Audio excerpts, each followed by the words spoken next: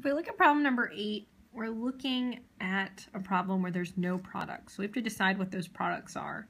And how we're going to do that is by first determining what kind of reaction are we looking at. We only have one reactant, we know it's a decomposition. So aluminum oxide is going to then split into its two pieces, which is aluminum and oxygen. But oxygen is one of the seven diatoms, so we need to put a 2 next to it. Next, we're going to go about balancing this. And if we check, we can see we're not balanced because I have two aluminums here and I only have one here. I have three oxygens here and two here. Now the oxygens are going to be more difficult to balance because we have a 3 and a 2. So our best bet is to get them both to 6. So in order to do that, I'm going to put a 2 over here. And for this one, I'm going to put a 3. Okay, that gets them both to 6. And now our aluminum is at 4. So I need to put a 4 over here. Now that we have a balanced equation, we can begin our problem.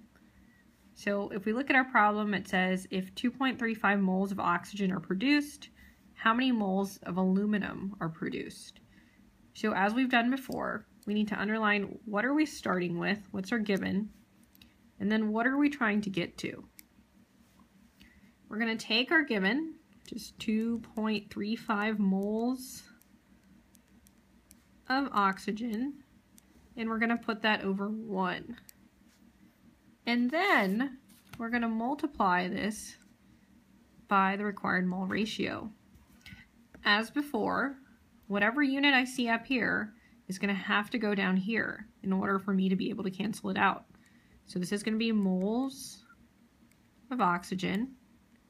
And then what I'm trying to figure out is moles of aluminum.